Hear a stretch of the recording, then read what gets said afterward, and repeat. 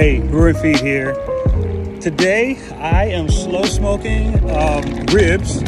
We're gonna slow smoke some uh, St. Louis style ribs in our Brew and Feed St. Louis style rub.